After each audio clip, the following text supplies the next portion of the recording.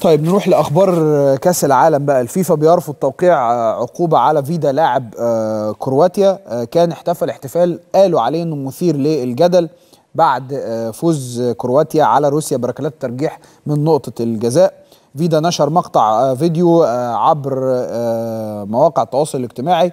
كان بيصرخ فيه بيقول المجد لأوكرانيا وده بدا موجها ضد روسيا بسبب الخلافات السياسية بين البلدين.